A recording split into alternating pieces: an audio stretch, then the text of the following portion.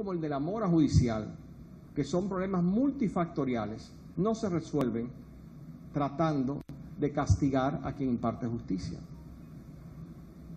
La transformación de la justicia conlleva múltiples factores.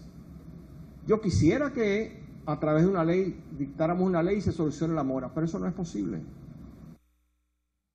El presidente de la Suprema dijo que la justicia se nutre de su independencia, pero no puede vivir en aislamiento al considerar que la garantía de esa independencia es fortalecer el derecho. Al dictar una conferencia en la UAS denominada Visión Jurídica, el presidente de la Suprema también destacó las medidas para enfrentar la mora judicial y los feminicidios. A la actividad asistieron la rectora de la UAS en Mapolanco, así como el profesor y estudiante de la Alta Casa de Estudios.